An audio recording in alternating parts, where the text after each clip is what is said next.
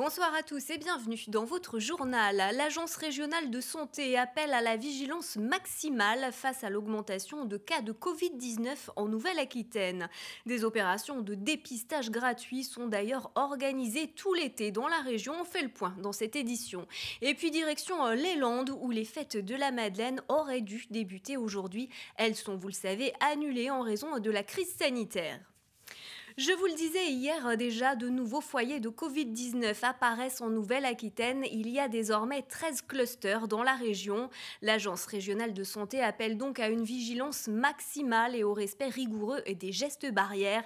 Et sachez que l'ARS Nouvelle-Aquitaine lance justement des opérations de dépistage gratuit, un moyen de faciliter l'accès aux tests et de permettre de casser les chaînes de transmission du virus dans la région. Vous trouverez la liste sur le site internet de l'ARS qui s'affiche actuellement à l'écran. Et en raison euh, de la crise sanitaire, vous le savez, de nombreux événements sont annulés. C'est notamment le cas des fêtes de la Madeleine. Les explications d'Emmanuel P2R, chef de l'agence Sud-Ouest des Landes. On est le mercredi 22 juillet et nous aurions dû nouer nos foulards bleus ce midi pour 5 euh, jours de fête de la Madeleine. Elles n'ont pas lieu, mais il s'agit d'un grand test dans le Sud-Ouest sur le respect de ces grands rendez-vous festifs annulés. Les autorités seront donc très vigilantes dès ce soir à ce que le calme règne en ville. Alors, à quelques heures du non-événement, et alors que la ville de Bayonne et la préfecture des Pyrénées-Atlantiques s'y sont pris, eux, bien plus tôt, un arrêté municipal annonce que les bars et restaurants devront fermer à minuit et non 2 heures du matin comme habituellement. L'année est sans doute inédite, car les communiqués de la préfecture se succèdent et vont chaque jour un peu plus loin dans les annonces.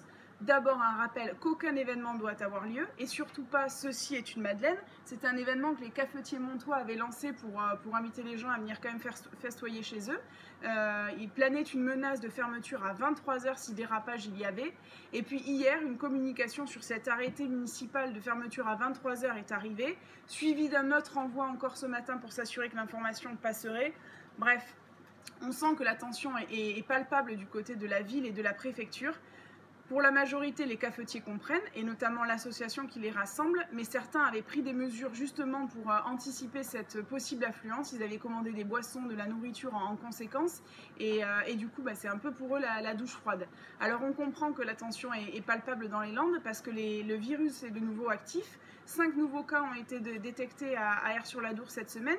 La population est d'ailleurs invitée à se faire euh, dépister. Euh, The Weeknd, c'est à Inks où une famille de trois personnes euh, a été testée euh, positif. des cas qui s'ajoutent du coup aux, 18 relevés à Parentis et aux 8 cas qu'on a, qu'on a connus il y a quelques jours à, à Osgore. Et par rapport à ce qui vient d'être dit sur les trois cas positifs de Covid-19 diagnostiqués le week-end dernier à Inx, sachez que les personnes contacts ont, elles, été testées négatives. La commune va donc pouvoir rouvrir le centre de loisirs et l'espace ado qui avait été momentanément fermé. Et par ailleurs, suite à la découverte hein, d'un cluster de Covid-19 chez des saisonniers agricoles de Parentis en borne, une opération de dépistage avait été menée. Les résultats sont désormais connus et sur 1415 personnes testées, un seul cas est revenu positif. Les touristes sont nombreux à avoir choisi euh, la région Nouvelle-Aquitaine pour passer leurs vacances en raison de la crise sanitaire, une crise qui a obligé les professionnels du tourisme à s'adapter, exemple dans un camping de Bidart dans les Pyrénées-Atlantiques. Il y a un mois, on nous aurait posé la question comment pensez-vous que votre saison va être? Là, on aurait dit catastrophique. Depuis un mois, euh, les réservations ont repris et on se dit que si nous arrivons à faire, à atteindre un taux de 60% par rapport à nos objectifs habituels, euh, ce sera un moindre mal. Des propos que confortent les chiffres portant sur la fréquentation touristique des Pyrénées-Atlantiques sur les 15 premiers jours du mois de juillet. Selon l'agence d'attractivité et de développement touristique, le département a accueilli sur cette première quinzaine de juillet un nombre de touristes équivalent à l'an dernier. À noter que c'est le week-end du 14 juillet qui a drainé le plus de flux touristiques dans le département.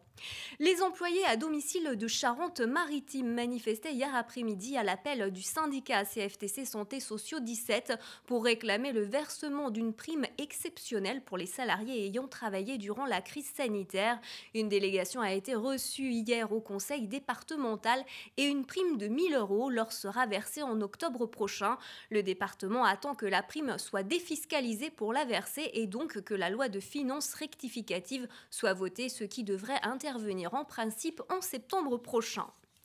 Pierre Urmic, le nouveau maire de Bordeaux, victime d'usurpation d'identité sur Facebook. L'un des deux faux profils a proposé notamment à une responsable d'association de lui verser anonymement des dons. Le maire de Bordeaux a signalé la supercherie sur son compte personnel et a prévenu Facebook. Le centre de la faune sauvage du Lot-et-Garonne a rouvert ses portes en début de semaine après deux ans et demi de fermeture et il accueille déjà ses premiers pensionnaires. Pour moi, c'est une victoire, une victoire d'une équipe complète, une équipe extraordinaire qui m'a suivi dans une aventure qui, au début, bon, euh, beaucoup nous ont dit euh, casse-cou. Vous ne réouvrirez pas ce centre. Euh, il y a trop de problèmes. Il y a eu trop de problèmes. Mais peut-être que la passion, peut-être aussi que aidé par et soutenu par cette équipe, on, on a pu aller jusqu'au bout, jusqu'au bout, puisqu'aujourd'hui on réouvre avec un emploi, on embauche quelqu'un. Aujourd'hui, c'est son premier jour aussi, un emploi en CDI, ce qui n'est pas rien, avec des bâtiments refaits, refaits selon les normes et selon la réglementation, une infirmerie qui était obligatoire, avec tout ce qu'on demande dans une infirmerie pour ce type de centre de soins, un local pour le personnel obligatoire et un accueil obligatoire. Les, heureusement, euh, les grandes volières qui existaient auparavant ont parfaitement bien résisté au temps, malgré qu'il a fallu quand même euh, revoir euh, la verdure, la recoupe des arbres, etc. Cependant, ces volières sont existantes depuis des années et elles marcheront encore. Donc voilà, le centre est rouvert, il y a un besoin, un besoin terrible de ce centre pour accueillir tous les animaux qui sont qu'on nous amène, qu'on nous téléphone, ils sont blessés, ils sont tombés des nids. Que faire? Il n'y a rien pour eux. Donc ce centre était là, on l'a réouvert pour eux et puis aussi pour peut-être la biodiversité dont on parle tant. Et on a besoin d'aide. Alors il ne faut pas oublier qu'on ne vit que de dons et de subventions.